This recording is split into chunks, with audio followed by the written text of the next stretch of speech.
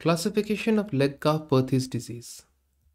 Many classification systems for Perthes disease have been described. Among these, four of them are very important for postgraduates. They are the Waldenstrom staging, the Herring lateral pillar classification, the Catterall classification, and the Salter-Thompson classification. Among these also the first two that is the Waldenstrom staging and the Herring classification are very important. The Waldenstrom staging describes the stages of the Perthes disease. The first stage is the initial stage in which interruption of blood supply to the femoral head leads to necrosis of the femoral head. This is followed by the second stage, which is the fragmentation stage, in which the body resorbs the necrotic tissue. The third stage is the reossification stage, in which the body, through osteoblasts, tries to create new bone in the area where the bone has been resorbed. The fourth stage is the remodeling stage because after reossification the head is often misshapen that is it is enlarged or is flattened. Remodeling stage attempts to remodel the head and shape it according to the correct shape of the femoral head. The Herring lateral pillar classification has the best prognostic predictability among all the classification systems. It is based on the height of the lateral pillar in the fragmentation stage in anterior-posterior radiograph. So Herring lateral pillar classification is based on the fragmentation stage of the Perthes disease. On the basis of the height of the lateral pillar in the fragmentation stage, it is divided into three types. In type A, the lateral pillar is of full height. So we can see the femoral head has been divided into three pillars the medial pillar, the central pillar, and the lateral pillar. In type A, the lateral pillar has full height.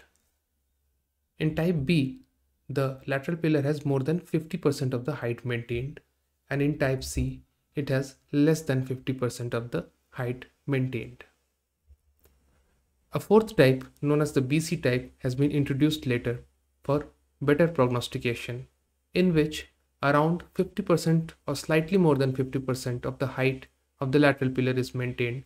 However, there is either a thin lateral pillar or decreased density of the lateral pillar or the lateral pillar is lower in height than the central pillar. In these three conditions, it is classified as the BC type. Now, Herring lateral pillar classification is very important for prognostication. In type A, it has a uniformly excellent prognosis. In type C, it has a uniformly poor prognosis.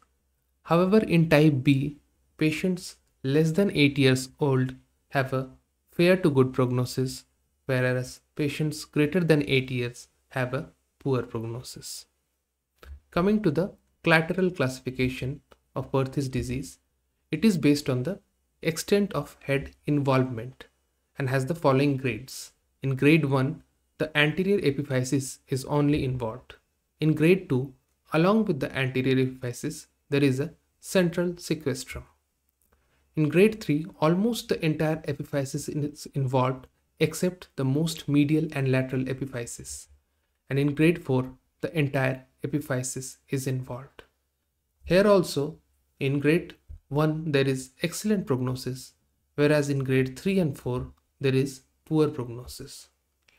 Grade 2 has good prognosis if the patient is less than 4 year old and if the patient is more than 4 year old it has generally fair to poor prognosis. Coming to the Salter-Thompson system. This is based on the radiographic crescent sign. And what is this crescent sign? It is basically a subchondral fracture in the supralateral part of the femoral head.